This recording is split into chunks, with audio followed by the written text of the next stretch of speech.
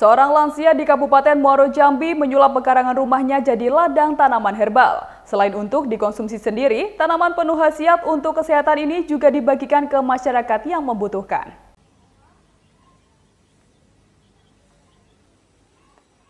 Di saat pengobatan modern yang praktis dan mudah untuk didapatkan, obat herbal masih menjadi pilihan sebagian masyarakat dengan memanfaatkan halaman rumah untuk dijadikan tempat membudidaya tanaman obat. Seperti yang dilakukan seorang lansia bernama Siti Hawa, warga Desa Muara Jambi, Kecamatan Marosebo, Kabupaten Muaro Jambi.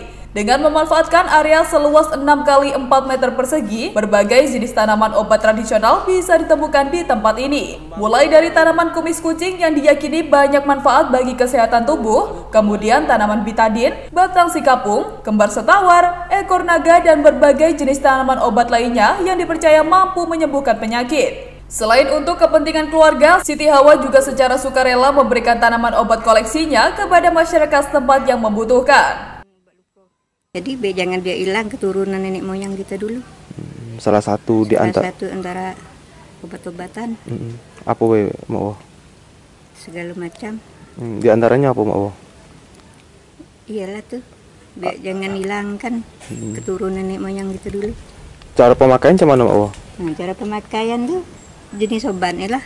Iya. Iya ditentukan obat nih, obat ini cara begini. Kalau untuk obat luka tadi macam mana, Oh? Obat luka tadi getahnya tuh dioleskan.